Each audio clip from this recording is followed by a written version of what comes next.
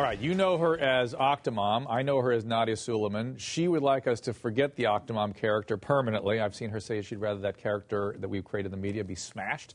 And she's had to defend herself against new accusations that she's an unfit mother and that the kids aren't safe. Welfare workers apparently visited her home this week, and there were claims that she and her 14 children were living in a situation that was not safe and not adequate. And tonight, she's also accused of spending more than $500 on her hair. While at the hold on, I'll give you a chance. She's she's wanting to get in here, all the while receiving two thousand dollars a month in food stamps. Which, by the way, I have recommended that she take because the when you hear what she has to spend on food every month to, for the 14 kids, there's no other way to do it. Uh, my Facebook and Twitter accounts are blowing up with questions and some harsh comments. Uh, I'm going to start it. You're saying shoot, but uh, let's let's just take it on. Let's see what happens. All right. Dion on Facebook says, I want to know why she has no plumbing or clothes on her kids while she's spending hundreds of dollars on her hair, and God knows what else if she's truly locking them in rooms to keep control. Someone needs to step in. And Jill writes, why on earth would she barricade her children in a room away from her by propping a door, door against the chair against the door handle? That, I believe, there is no excuse for that. And you have responses to all this. Yes, and none of that is accurate. None of it's the accurate. The kids play with the doors. They play with the open and close. They're, they're actually, I sleep on the floor, and the kids have all access to the beds everywhere. And they, the big kids put that door there that, because it's not closing. Yep. The door doesn't close, so they put the chair there so they won't go in and lock themselves in. So they're all over the place, and but they're so obedient. They're well, I've just so seen them. good. I've been Yeah. to your house, They're and, and I and the cleaning service Right. that through Life Changes Once we arranged for you Right. once a week showed up. Yep. That was one of the things I wanted for you. 'cause the- Ironically, every Wednesday they come there. and that, that was when ABC That was News the was one- there. yeah, right, Okay. okay. And we and they'll be here all year. We wanted that for Yes. you. Um, you let something slip out here that I that was not the case when I visited Right. your home. You're sleeping on the floor. well, now I am because I, I'm migrating all the kids upstairs slowly. They So were already in your bed when I was visiting. No, no, the big kids were, and the twins were. Well, now it's like seriously, all the eight now. I'm, I'm like four at a time. I'm bringing them upstairs. They're in the boys' bunk beds, and then There's no in- place for you to sleep. Well, right now I'm I'm temporarily crunched on the on the crease of my bed with four or five other kids, or on the floor. But it's more room on the floor. You seem a little more um, I'm accepting of well everything. beaten by all this. You No, seem I, I'm I'm happy. I'm happy just right. because the kids, the little ones, they're just they're thriving, and that's all that well. matters. And then and then what about with the, the Child Protective Services? They Oh, came out. was- okay, what happened was, ironically, the plumbing well, from the beginning before I moved there. Child Protective Services came out. Well, Stay Chi- focused here. and they, they oh, came out. They were they clean. They, perfect, they yeah. felt there was no problem. the police showed up. right. Social services show up, and things were adequate. Yes, and the, the toilet situation, one, the one toilet that backed up and was not working, and little kids wouldn't listen to me. They kept going one day, and the next day, plumber All came right, out. Lady, let- lady plumber. Okay. Yeah. Lady plumber. Yeah, she was great, and they found a harmonica in there. All right. So, So, the that's why the toilet was blocked up. All right. So let, let's get some of our callers and see what they want to say. You ready for this? I want to. Uh, can I defend a little bit? I should. You can defend as much as you want, uh, but I think people that get- was an exact it, over. That was. It seemed so much money, but I, the friend, This is I the owed her. now. I owed her so much from the, so many other haircuts. It's, we're talking like twenty nine haircuts. And then why did she report you as somebody ex- spending I excessive amounts of we- money? What we, we figured out later on. You were we set up. all- Yeah. You're set. All right. Let's get to callers. Nancy in New Jersey. Go ahead, Nancy. Hi, Dr. Drew. Hi, Nancy. Um, I- I myself, I'm, I'm infuri- infuriated uh, Hey, hearing with- the news with- about with spending Nadya. $500 on your hair. I mean, there are people every day struggling to Out get there. by while collecting welfare, and I just think it's.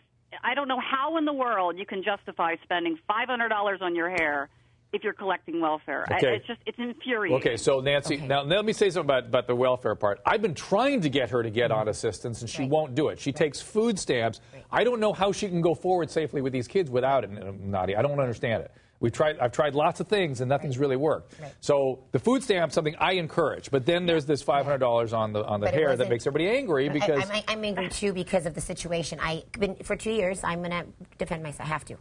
Two years, I was cutting my own hair with uh, actually the kitchen shears or whatever I have, and I never wear it down unless I have to do an interview. So I'm always keeping it at my friend. $500 My friend, let me justified. 500 versus 2000 $250 was a blowout, Brazilian blowout, and then, then the product she said I had to use to maintain it. The rest of the money was for all the kids' haircuts and prior haircuts that I owed my friend. And you know, she's a good hairstylist, but nonetheless, this is unexcusable that she would. She premeditated it and planned to come out, take pictures unbeknownst to me. But I do believe that in consideration for 29 haircuts from way before 14 and another 14 plus mine, That's actually when you add it all, multiply it all together. That's from way before I owed her money. Nancy, why do you get so angry with this stuff? What makes you so? I understand the the, wasn't the money, the, uh, and the I was taxpayer. reluctant. Where, where I my was anger comes from Yeah. too is I, I know that people have to do what they have to do, but my Yeah. anger Right. comes from too is there's already negative stereotypes out there regarding people on welfare. Um, you know, and, and I Mm-hmm. Think that when an Octomom is Nadya is pretty well known. Yes. And so people read about her. And I think that when we read about this and we read about like people, you know, possibly abusing the system, I think it just adds Do you and it see? You see, be, you would be. You're right, Nancy. Great point. You you would be perceived better if you just took welfare and took care of the kids with it, but which you're thing. entitled to. There's 14 Let me kids. talk.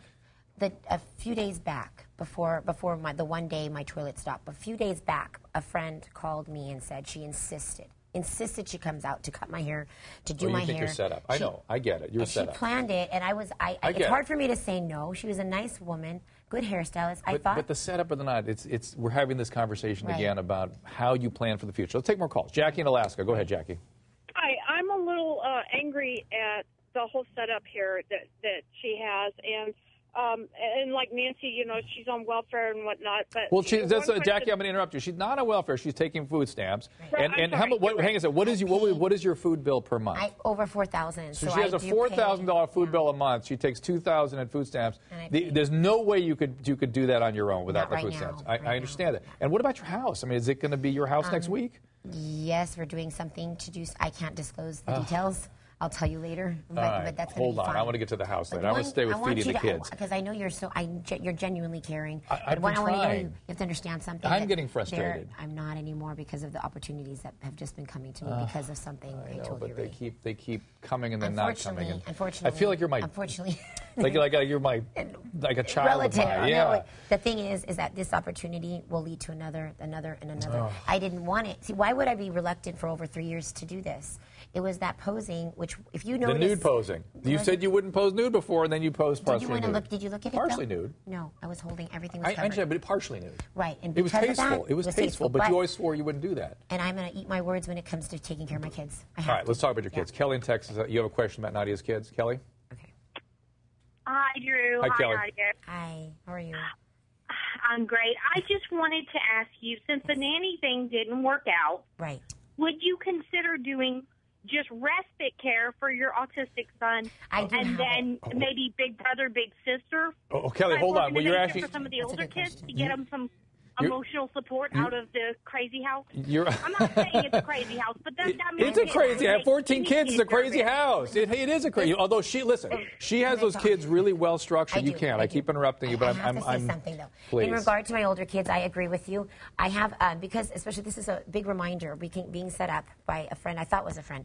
This reminded me that I can't trust anybody but this close circle of friends that I have, less a handful of them, and they are the ones I am beyond grateful. They help me with my older ones. We they they take them every once every weekend, and they they are so privileged. They really are.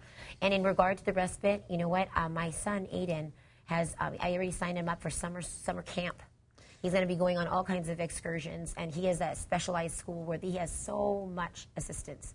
So I, I'm everything in my life revolves around them. They're my priority. That's why I was reluctant course. when a friend calls and say, "Oh, I need you need to have some style. You have no, your hair is always back. You have no makeup on them." And I kind of I, I get easily influenced, and I've learned I can't trust anybody. Okay. At all. Let's just add the score up. I mean, I've been to your house, and you do run- you run a tight ship. You're in a rather remarkable household. Uh, You have to. You couldn't survive without. Number one. Number two, the kids. What we've we've established with you in the past that the the fertility treatment was a misadventure. It was an accident. It was- it You- you didn't failure. you didn't seek. It was a failure. Failure. You also have a, a severely autistic kid. I mean, just that one Seven-year-old, child, right, seven, right. just that Is one child full- be is is a full time job. Right. So and he knew what my, my schedule was from morning. I've on. seen it, and you sleep on the floor. Yeah. And, and your house, we've given you cleaning services because you that was getting a- bad. Yes, it, a does little, help. but- But yeah. but the, when you add the score up, it's just it's sort of an insurmountable situation. It's It overwhelming situation. At so this point, it's I'm like I think once we've already hit rock bottom financially, nothing can get. All, all that's going to happen is we're going to go up.